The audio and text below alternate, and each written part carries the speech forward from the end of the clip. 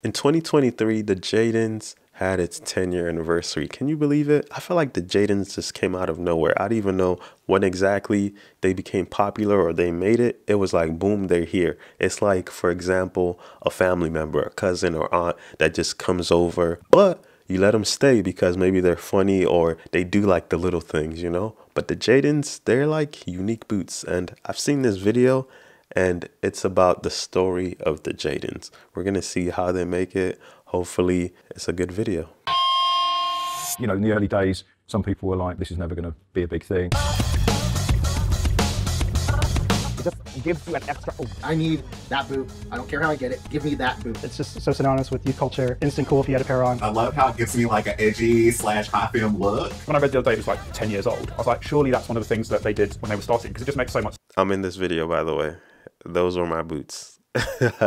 they actually let me know, like, it was interesting conversation. But yeah, so my YouTube video got in th- this video, and they didn't show my face obviously because of all the rules and regulations, but they showed like my boots, which was interesting. Hold up, let's go back and one more time. My mom made it. Let me stop, but yeah, my boots are in here. Give me that boot. It's just The so synonymous with youth culture. Instant cool if you had a pair on. Obviously. I love how it gives me like an edgy slash high film look. When I read the other day, it was like 10 years old. I was like, surely that's one of the things that they Oh, did that's when they were me. It makes so much sense. It makes me feel super Okay, empowered focus. and I love who I am when I wear them. Did I think the boot was going to be a She got a future classic? collection on her hand.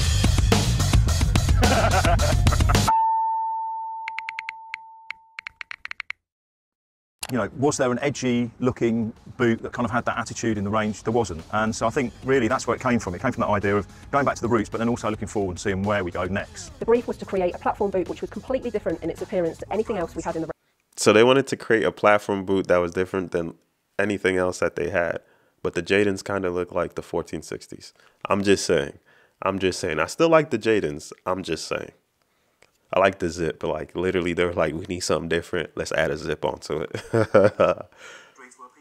range at that point. What was going on in the streets where people were starting to dress a little bit more extreme, things were starting to happen. And of course, that's Dr. Martens' stomping ground. So that's where we started. One thing I saw at the time was that there was a kind of fusion between what was going on in the fashion world and what had been going on in the alternative world.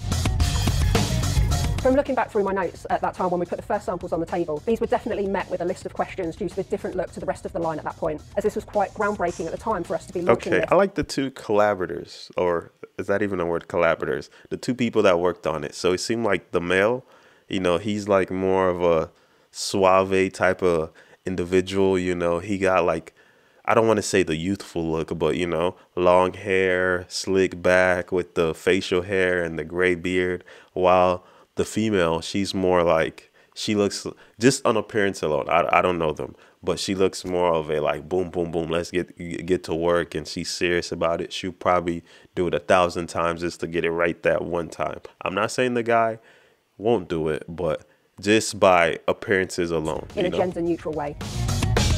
The Jadon boot shares some similarities with our iconic 1460 boot. The yellow and black heel loop, the grooving on the outsole, and the yellow welt stitch, plus the fact it They said some similarities. It's a lot. I mean, I like it, but it was so similar. I mean, how can you change the the the Doc Martens? Like, if I had to redo it, I don't know what I'll do to change it up to make it completely different than what you've seen before. But yeah, I mean, this is what they got. has eight holes.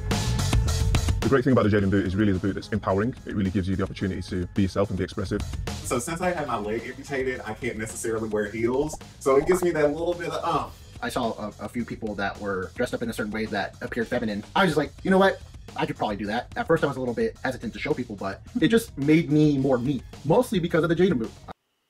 key point when he said the whole feminine look. Me personally, before I got Jadon's, I thought they were like feminine. Only females could rock like chunky boots and things like that.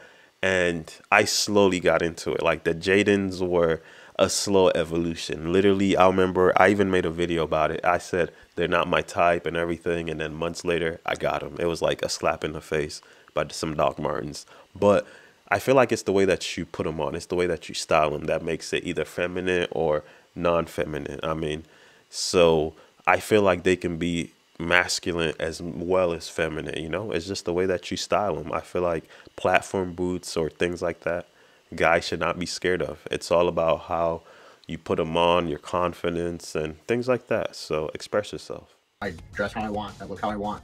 I started collecting Dr. Martens boots back in 2017. As a very tall girl with big feet, it was always such a problem for me to find suitable boots. After finding out about the Dr. Martens Jadon boots, I went crazy and bought all the platforms I could get my hands on. Yeah, she has a lot of platform boots.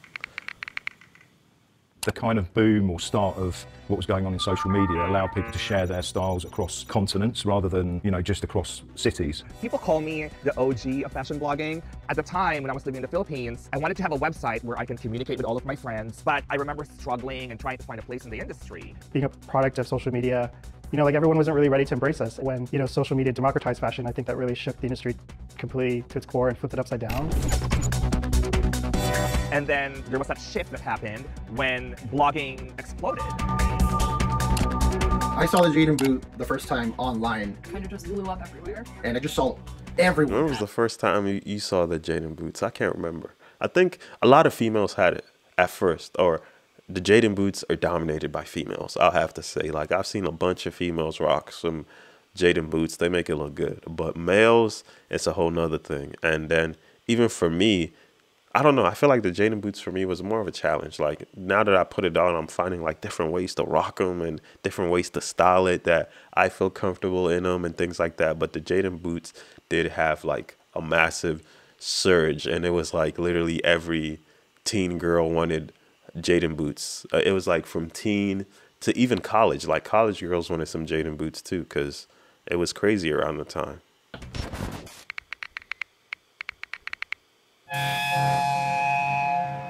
One of my The earliest editing is good. of the Jadon boot is my favorite icon, Agyness Deyn. It's a bit punk, it's a bit rock, it's a bit aristo. The boot is as iconic as her. So at the time when I was photographing Agyness Deyn, she was wearing the Jadon boot, and I remember she just wear it in her own eclectic way, whether it was with a party dress or her everyday off-duty model attire. She wasn't wearing them because she was paid to wear them, she was wearing them because it was a way that she expressed her own style. So it was natural for us to pick Agyness to, to work with. And we worked very closely with her. You know, she became part of the design team. She'd come and sit in the office, and I used to laugh and sort of joke about every design team needs a supermodel on the team you know, it was picked up by a lot of the alternative culture first, you know, people like Trash and Vaudeville, had the Jane Boot in, in stock. When I was working with Damien, the first thing, the first special product we did was the Trash and Vaudeville collab, which was on the Jadon Boot. Super exciting, first one we did as a Made in England collab. Uh, the X-Girls. ドクター・マーチンと X ガールのコラボレーションはジェイドンブーツを Z 世代の定番ブーツとして位置づける大きな影響を与えましたコラボレーションした商品は、えっと、完売した今でも SNS で買っておけばよかった、欲しかったなどの声が投稿されています。So the collaboration came about by, as a lot of these things happen, going out drinking, meeting people, talking in a pub over a pint, um, meeting BMAC, two people, lots of ideas, all at once, and finally making something happen. It's, it's one of those things that everyone thinks has happened or should have happened for years, and everyone's like, why have you why have you not done that? So both of the companies just have this sort of real crossover, very much linked with music, very much linked with subculture, DIY, and punk. The What's your favorite yeah. Jadon collaboration? I don't know. I mean, in general, what's your favorite Doc Martin collaborations? I feel like collaborations, it's either you like it or you don't like it. So some people enjoy it, some people think it's just wacky and unnecessary. I mean, my favorite collaboration is usually A-Cold-Wall, but I'm starting to notice like A-Cold-Wall, they kind of just stick with the same silhouette over and over again and probably they change different little things like the texture or I don't know. But I like A-Cold-Wall. It's unique. essence, I yeah, really it's been want adopted by, let's say, fashion industry. However, it transcends fashion. It also plays an important part in music as it continues to evolve. when we did the campaign, we just wanted it to be about attitude. When I discovered like Grove and just like energy that it brought to the shoot, like jumping up on the pool table, we didn't have to like direct anything. It was just like it was there, and it was like yeah, just keep going, keep going, just do what you're doing. I see that the future for sort of alternative culture, it's just becoming more and more inclusive. The Jadon boot plays an important role in music. Pop, grunge, progressive alternative. The boot empowers the artists that truly adopt the brand. So how do you see the next 10 years? Now you're not going to fuck it up. You've got to keep it in. That was a good video. I mean, to me, I'll just say that the biggest thing that I learned from it. Hold up, let me turn off the video.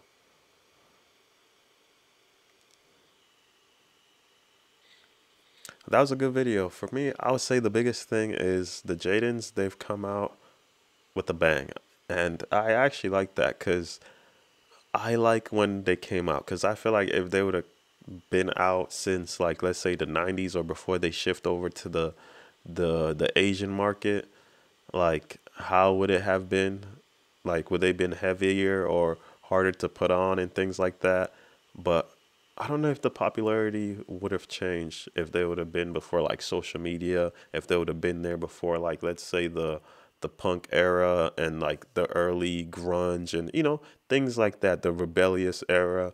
Would it have changed anything? But for me personally, the Jadons I have, they are the um, what are they? The um, the vegans. I like them. They're all black, very easy to to put on. I really enjoy putting them on. I feel like if you put them on, they somewhat give you some type of superpowers for some reason. It just gives you that oomph, you know? I mean, and I feel like they're for everyone. I don't like to think Jadons are only for like a particular group or like, you know, I just feel like Jadons, if you want them, go get them. Find a way to style them, put them in your wardrobe, look at them for a little bit. Eventually, you break into them. Speaking about breaking into them, Jadons will hurt your feet. If you don't, let me just explain. If you get the wrong pair of Jadons, like let's say the smooth leather, I will pray for you, like literally, because those can hurt your feet. But this video is not about that.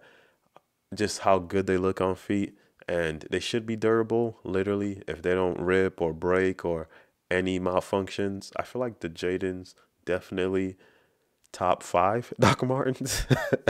I don't want to say top three because people get confused, but top five Doc Martens. I mean, I'll say, I'll put myself on the spot. I'll go, J, no, not Jadon's first. I'll go 1460s, of course, well rounded. 1461s, summertime. I like my uh Chelsea boots. That's three. I mean, the next two, the Jadons have to be in there. I'll say Jadons and then the Adrians. In no particular order for the last two. I mean, it's up to the individual. But yeah, hey, let me know. I kind of felt like they rushed through this a little bit. I wish, I mean, they kind of told us how they came up with it. I wish they would have showed us like some early prototypes to see how they went through the whole entire process. I mean, for me, I do like mini documentaries. I just want to see how things are made, how things are done, and all of that. But next time, or maybe I might have to fly to England to get a more deep dive into the Doc Martens factory and everything. Thanks for watching, y'all.